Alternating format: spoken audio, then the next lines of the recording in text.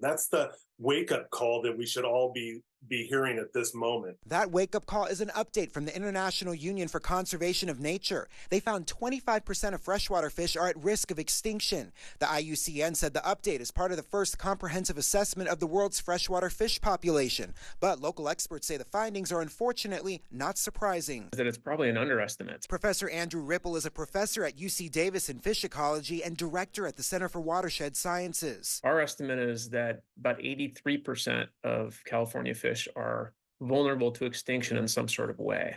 So if we were to put the California number on that IUCN number, it would be much, much higher. A problem that puts not just California's environment at risk, but also the economy. Salmon, just from an economic perspective, contribute you know, $1.4 billion to the California economy. Scott Artis is the executive director of the Golden State Salmon Association. He says that while salmon in some parts of the state are doing well, the opposite is seen in other areas, keeping them at high risk. People should care because this is a species that touches not just people, but the entire environment.